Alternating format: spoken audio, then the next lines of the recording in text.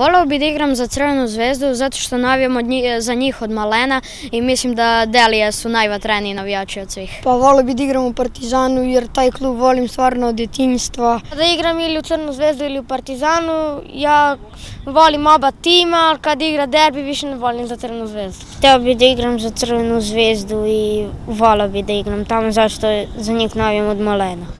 Ovo su želje mnogih mladih futbalera u Srbiji, a ipak redko ko od njih uspe da ostvari svoje želje. Jedan od načina da postignu uspeh u svojoj futbolskoj karijeri je da pored talenta vredno treniraju i između ostalog da se odazivaju na selektivne utakmice regiona u kojem žive. Jedna takva odigrana je u Parećinu koju su odigrali dečaci rođeni 2007. godine. Danas imamo selekciju Pomorovskog okruga i juče smo imali za godišta 2005. 6. i 7.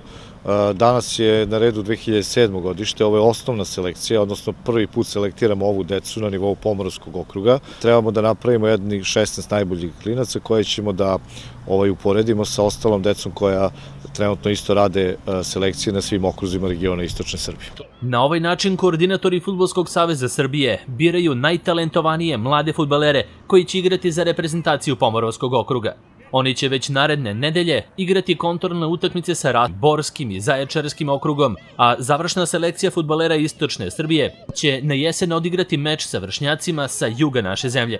I to nam je cilj da te, tu decu dovedemo na školu Srbije, koja se, kažem, opet održava tamo na jeseni i koja ovo ima zadatak da ta deca 7 dana budu u Staroj Pazovi, zajedno sa nama instruktorima koje s njima radimo, naprave, vidimo otprilike na kakvom su nivou obučenosti, da damo klubovima neke svoje sugestije, neka svoja mišljenja šta treba buduće da rade s tom decom.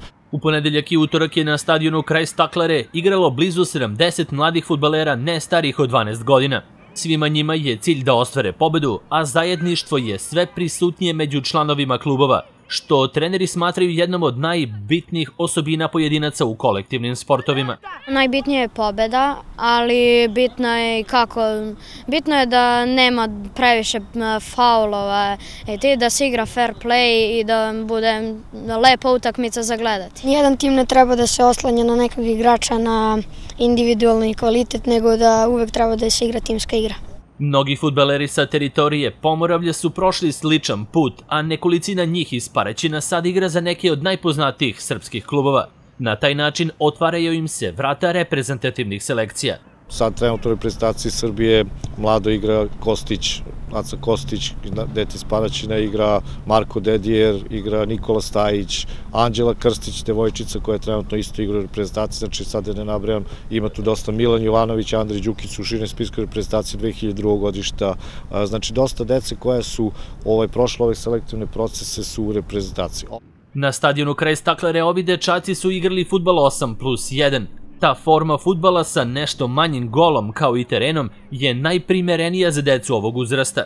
Boban Lazić, jedan od trenera u reprezentaciji Srbije za igrače do 16 godina starosti, kaže kako će Futbolski savez Srbije forsirati ovakav futbal za petliće i pionire, što je dugogodišnja praksa širom Evrope.